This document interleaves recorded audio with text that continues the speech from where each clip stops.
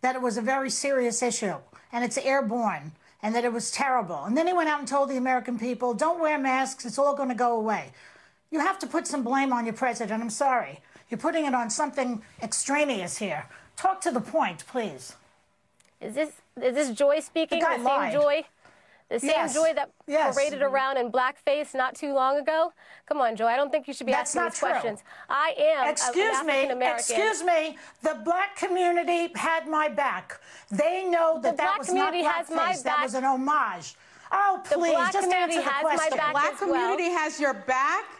The black Yes. community Yes, has your back. they do. Sunny, the Yes. black community Well, did Sunny, not vote them. for you. Well, the black you know what? community did not vote for you. What It was planet during are a special election. on? Sunny, can I speak? What It was planet during- are you living on? It was during a special Wow. election while we were still under please. lockdown and I could Wow. not talk to people.